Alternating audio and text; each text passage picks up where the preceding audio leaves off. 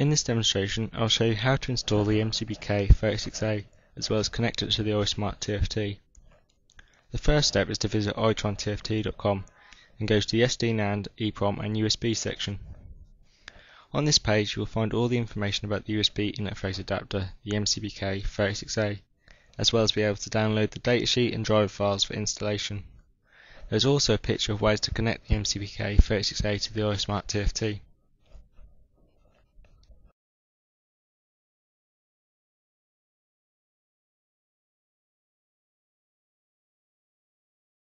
You'll then need to download the driver for your operating system by clicking the appropriate link. You'll then be asked for your details before proceeding. Then you will need to click on this link where you have the option to save or open the zip file. I suggest opening and then extracting the file from the zip file into your directory of choice.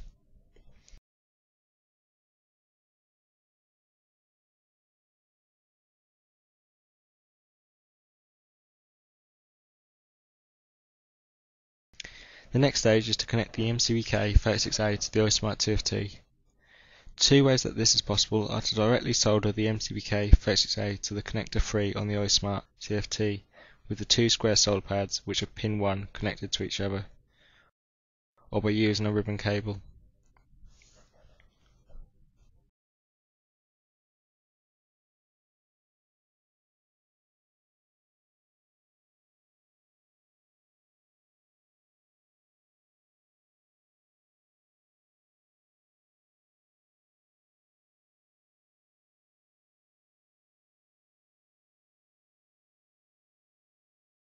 When the USB is connected for the first time, the computer will ask for the MCBK36A to be installed. You may need administrator rights to do this.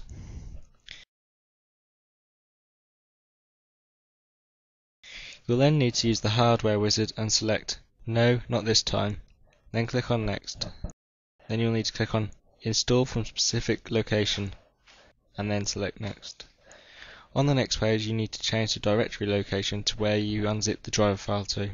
Then click on Next. A pop-up will appear. You then need to select Continue Anyway. The process will then complete and the MCBK36A will be saved as a COM port. You will then be able to send data to the NAND and RAM via the MCBK36A through the iDevTFT. When using iDevTFT to send data to the NAND and RAM, you will need to use this code and put this in your TU file. This can be found with the MCBK 36A driver at itrontft.com.